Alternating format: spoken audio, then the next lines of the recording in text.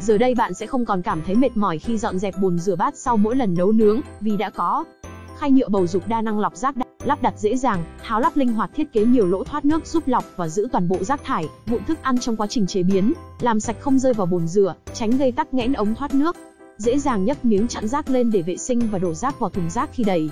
Rô đựng đồ có kích thước nhỏ gọn, chất liệu nhựa bền đẹp, dễ dàng vệ sinh sạch sẽ. Thiết kế xinh xắn, tiện dụng cùng chất liệu nhựa ABS mềm, không thấm nước luôn bền đẹp trong môi trường có độ ẩm cao. Phù hợp với hầu hết các loại chậu rửa trên thị trường bên dưới rổ có nhiều lỗ thoát nước giữ cho, rẻ rửa bát hay các vật dụng khác luôn khô ráo, sạch sẽ. Thuận tiện sử dụng, tiết kiệm không gian cho bồn rửa nhà bếp.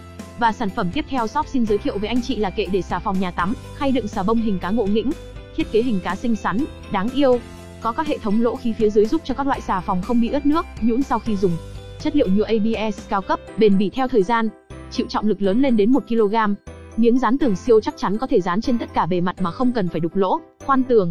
Màu sắc đa dạng, bắt mắt giúp cho khách hàng có thể dễ dàng lựa chọn. Sắp xếp cho phòng tắm được gọn gàng, ngăn nắp hơn, tăng tính thẩm mỹ cho không gian vệ sinh, thư giãn hàng ngày của gia chủ.